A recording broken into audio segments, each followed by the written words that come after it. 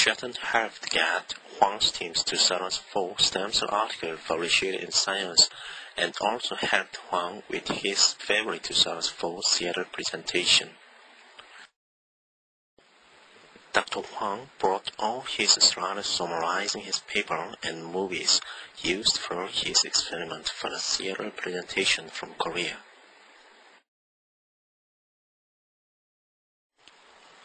I think Dr. Hwang discussed this with Dr. Schatten a before his presentation, and Dr. Schatten certainly knew then that our team had a squeezing method and what it was like.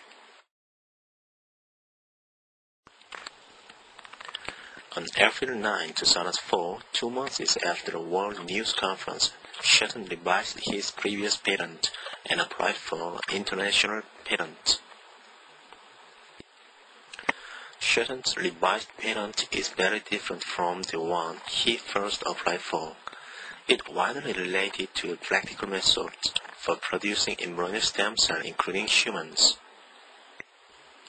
It mentioned various methodologies for somatic cell nuclear transfer and it added Hwang's team's gently squeezing method to an overall explanation together. The phrase gently squeezed or aspirated to expel the nucleus is figure 3E4. Look at the illustration. It was not at all mentioned in the 2003 patent application. Schatten approached Hwang to learn the squeezing method. He wanted Hwang's patent while still wishing to keep his wrongly developed argument. That is how he put the phrase gently squeezed in his 2004 revised patent. The illustration in latter's patent also precisely added Hwang's team's gently squeezing method of NT with a pipette together with Schatten's previous patent related to anti-through suction method.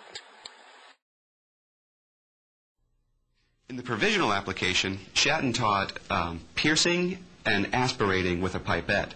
So that is, the egg cell would be, would be pierced, and then the nucleus would be sucked out with a pipette.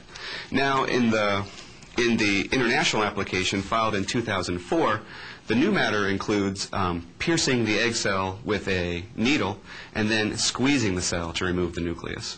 It is our, it's our understanding that Dr. Hwang's patent, um, his international uh, patent filed in um, December of 2003, uh, shows a similar method of um, uh, piercing and squeezing.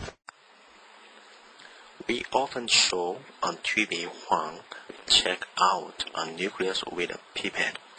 Those pictures were shown in every 2004 patent application.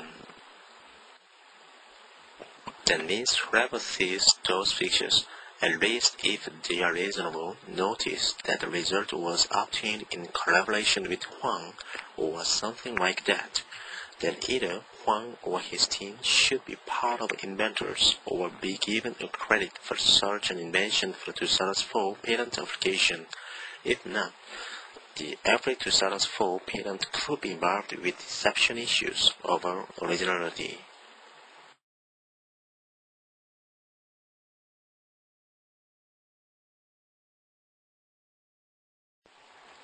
In November 2004, seven months after his revised patent was applied for, Schatten successfully cloned monkey blastocysts with help of Bauer Sun from Hwang's team, and based on his successful result, he was awarded a huge amount of money in the form of research grant from the National Institute of Health, NIH.